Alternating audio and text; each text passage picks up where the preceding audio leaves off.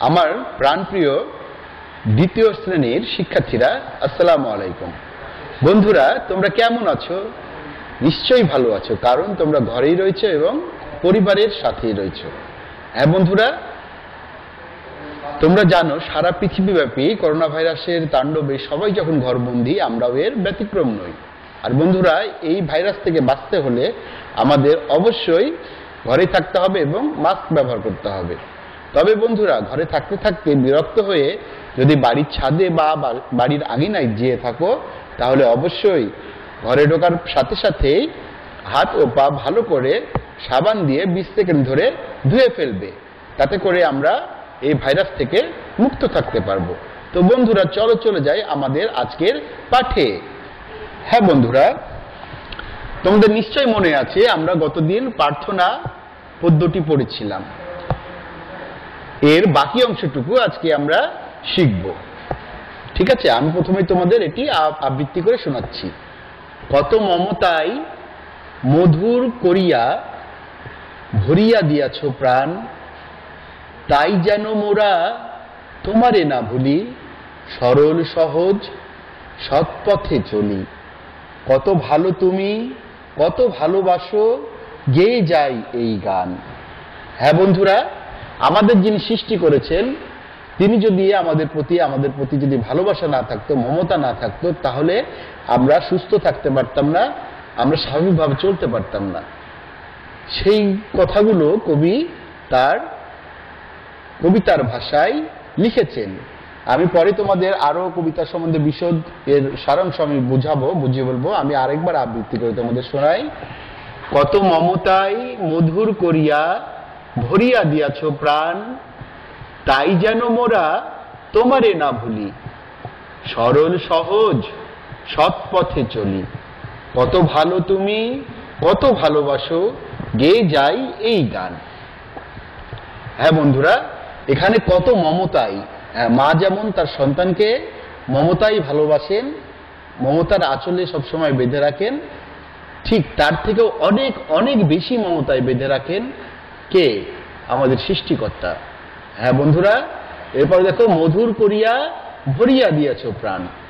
হ্যাঁ তারপরে দেখো বন্ধুরা কি বলছেন তাই যেন মোরা তোমারে না ভুলি। কারে না ভুলি? যিনি আমাদের সৃষ্টি করেছেন, সৃষ্টিকর্তাকে যেন না ভুলি। সরল, সহজ সৎ পথে চলি। হ্যাঁ বন্ধুরা, আমাদের মানুষের মধ্যে একটি বিষয় আছে। আমাদের সামনে সোজা সহজ এবং সরল একটি পথ থাকে। সেই পথে না চলে আমরা কি করি?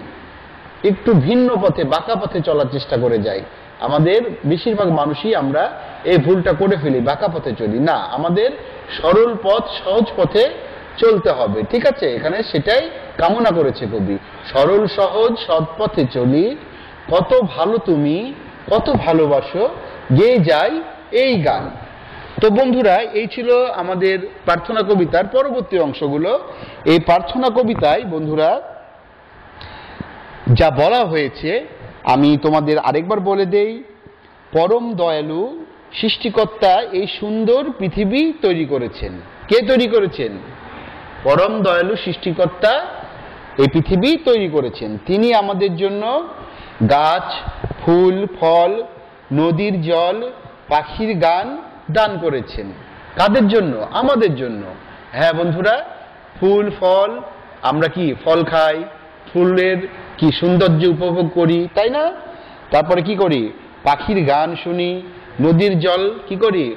হ্যাঁ অনেক নদীর জল আছে, যেখানে পানির সমস্যা, তারা অনেকে নদীর জল পানও করে থাকে, নদীতে স্নান করে থাকে বা গোসল করে থাকে। আবার কি করে? নদীর মধ্যে, নদীতে যে মাছ হয়, সেই মাছগুলো কি আমরা খেয়ে থাকি, তাই না? তাহলে সেগুলো কে নিদা- কে দান করেছেন? সৃষ্টিকর্তা।